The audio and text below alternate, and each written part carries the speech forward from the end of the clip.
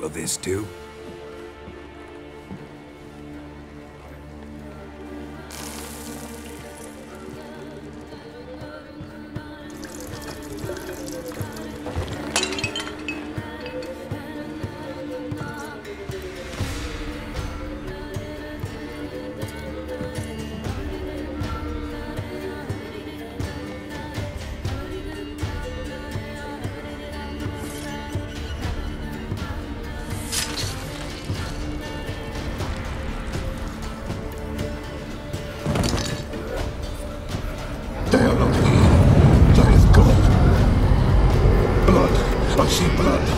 Whose?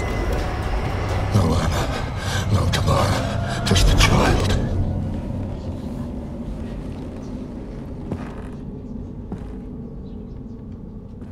A child that lives not, yet did not die.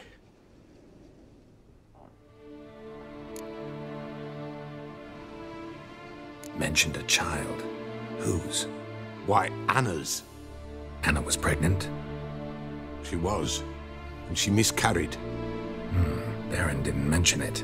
Afraid, perhaps, or ashamed, or forgetful. Or perhaps he had no wish to remember.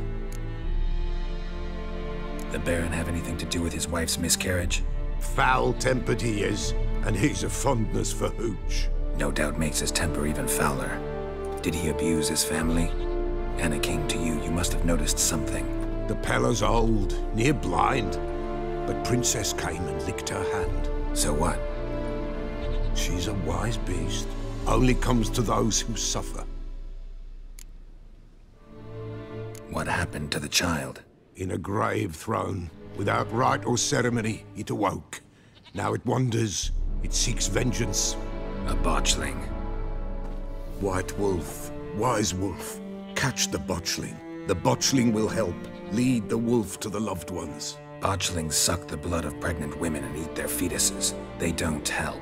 Tis a being cursed, and witches lift curses. If the White Wolf can't lift it, he should bring me its blood. Blood will always find kindred blood. Whatever I do, I gotta find the botchling first. Seek it at midnight, near the grave that lies empty. If what you say is true, the Baron ought to know where that grave is.